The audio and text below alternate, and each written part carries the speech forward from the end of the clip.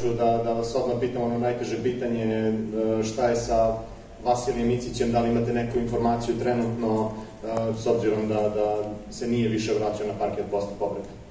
Pa, povreda je, je teška, nadamo se.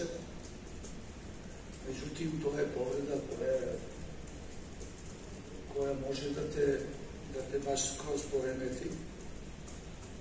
Ne bi sada ništa to govorio, uglavnom to ćemo tek sutra više moći da, da kažemo, da se prenoći, najvažnije je sada da naš medical staff njemu pomogne da ne dolazi do oticanja zgloba, a ako se to ne desi, onda je dobra prilika da se, da se on vrati.